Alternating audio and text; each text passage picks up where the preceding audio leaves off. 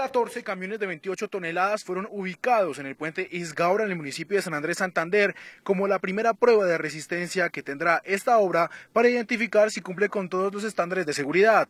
Este protocolo, este cronograma, este procedimiento fue aprobado y avalado por la interventoría y además contó con el visto bueno del Fondo de Adaptación y del Instituto Nacional de Vías. Y estas pruebas que se le realizarán a esta estructura que costó 107 mil millones de pesos y que es la obra más larga de América Latina fueron asignadas tras su polémico diseño ondulado, el cual se asemeja a un acordeón y desniveles en el asfalto. Entre las pruebas estarán evaluaciones estáticas y en movimiento en las que se ubicarán los camiones en puntos estratégicos y también se transportarán volquetas de hasta 30 toneladas de peso a velocidades entre 30 y 40 kilómetros. Durante la semana del 21 de noviembre se realizaron unas mesas técnicas con la participación del Instituto Nacional de Vías, del Fondo de Adaptación, de la Sociedad Colombiana de Ingenieros y de la Interventoría.